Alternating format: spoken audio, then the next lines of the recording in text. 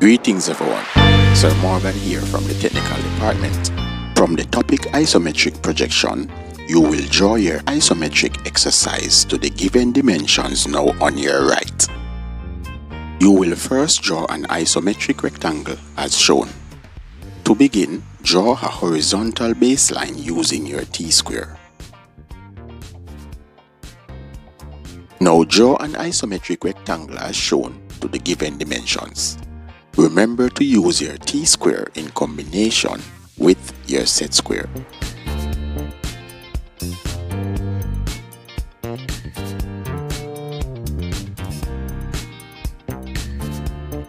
Next you will make measurement in order to get the line that is to be here. Measure and identify 10 millimeters from the end of this line.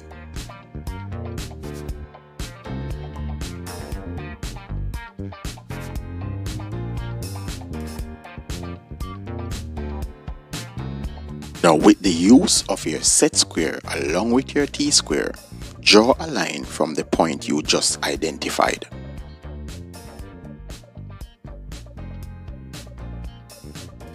Now based on your given drawing, you now need to measure and identify 10 millimeters from this point. Also measure and identify 10 millimeters from the other end of the line. Now use your set square along with your t-square to draw vertical lines from the points you previously identified to intersect with the line above these points. Now from this point to this direction, you need to draw a line using your set square along with your t-square.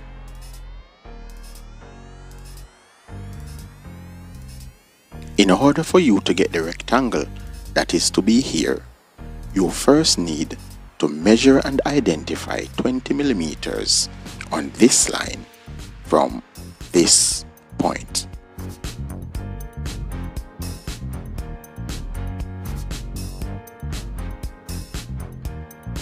And also from the other end of the line, measure and identify 20 millimeters too. Now use your t-square along with your set square and draw two horizontal lines from the points you previously identified. Remember to draw construction lines thin and light.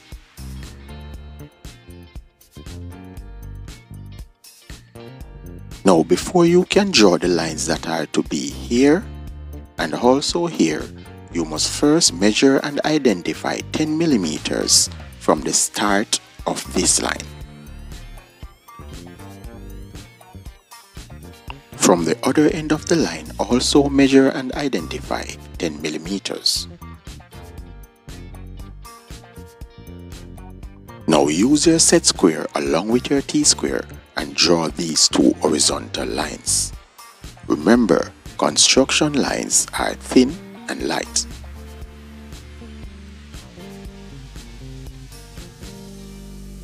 Excellent!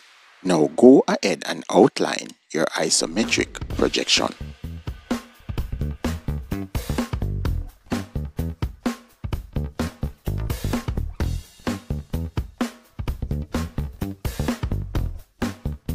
Now this drawing wasn't so hard after all.